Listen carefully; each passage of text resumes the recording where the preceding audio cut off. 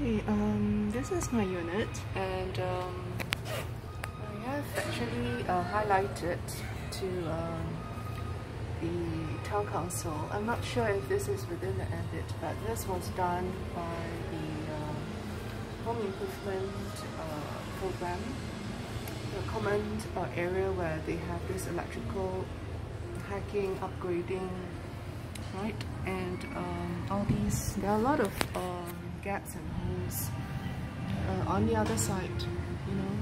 But on this side, it's it's good. It's it's all tidy, right? It's all all it's on on this side. So all this I have already highlighted.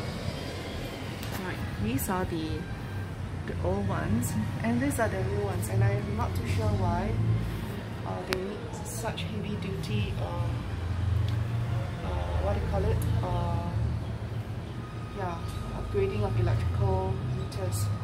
That one is my own, uh, the other neighbor's separate.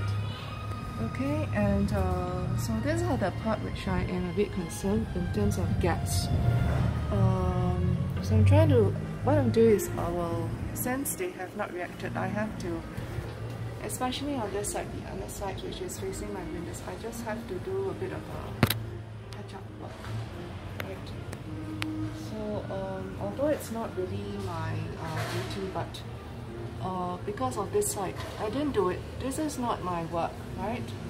This is the uh, part of the home improvement program, the electrical, uh, common electrical, uh, what what you call it, uh, works. I'm not sure what is the purpose or what is the usage.